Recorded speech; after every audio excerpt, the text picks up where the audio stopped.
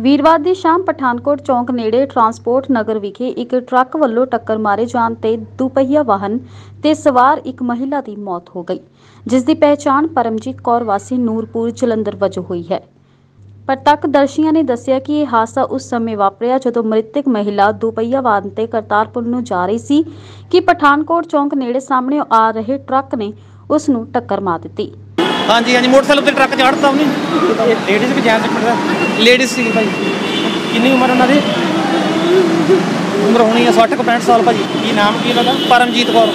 ਕਿੱਥੇ ਦੇ ਰਹਿਣ ਵਾਲੇ ਆ? ਇਹ ਨੂਰਪੁਰ ਦੇ ਆ ਭਾਜੀ।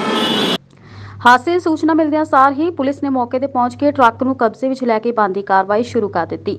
ਇਸ ਸੰਬੰਧੀ ਪੁਲਿਸ ਅਧਿਕਾਰੀ ਨੇ ਦੱਸਿਆ ਕਿ ਹਾਦਸੇ ਤੋਂ ਬਾਅਦ ਟਰੱਕ ਚਾਲਕ ਮੌਕੇ ਤੋਂ ਫਰਾਰ ਹੋ ਗਿਆ ਅਤੇ ਪੁਲਿਸ ਵੱਲੋਂ ਉਸ ਦੀ ਭਾਲ ਕੀਤੀ ਜਾ ਰਹੀ ਹੈ। ਅੱਜ ਜੋ ਇਹ ਐਕਸੀਡੈਂਟ ਹੋਇਆ, ਟਰਾਂਸਪੋਰਟ ਪੁਲ ਦੇ ਥੱਲੇ ਹੋਇਆ, ਟਰੱਕ ਦਾ ਤੇ ਮੋਟਰਸਾਈਕਲ ਦਾ।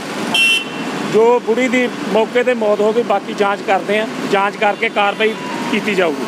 ਟਰੱਕ ਡਰਾਈਵਰ ਮੌਕੇ ਤੋਂ ਫਰਾਰ ਹੋ ਗਿਆ। ਉਹਦਾ ਮਾਲਕ ਆ ਗਿਆ, ਟਰੱਕ ਨੂੰ ਥਾਣੇ ਲੈ ਕੇ ਜਾ ਰਿਹਾ ਕਿੱਥੋਂ ਆ ਰਹੇ ਜੀ ਕਿੱਥੇ ਜਾ ਰਹੇ ਫਿਰ? ਇਹ ਟਰੱਕ ਇਧਰਲੇ ਬੰਨੇੋਂ ਆਇਆ ਸੀਗਾ ਕਰਤਾਰਪੁਰ ਸਾਈਡ ਤੋਂ ਤੇ ਟਰਾਂਸਪੋਰਟਾਂ ਨੂੰ ਚੱਲਾ ਸੀ ਤੇ ਚਾਰਕ ਮੋਰੇ ਮੋਟਰਸਾਈਕਲ ਜਦੋਂ ਆਉਣ ਐਕਸੀਡੈਂਟ ਹੋ ਗਿਆ ਤੇ ਜੋ ਸੀਗੀ ਜਨਾਨੀ ਉਹਦੀ ਡੈਥ ਹੋ ਗਈ ਮੌਕੇ ਤੇ ਡਰਾਈਵਰ ਫਰਾਰ ਹੋ ਗਿਆ। ਇਹ ਜਨਾਨੀ ਦਾ ਨਾਂ ਕੀ ਇਹਦੇ ਬਾਰੇ ਨਹੀਂ ਹਲੇ ਕੁਝ ਪਤਾ ਲੱਗਾ ਤੇ ਨਾ ਪਤਾ ਕਰਦੇ।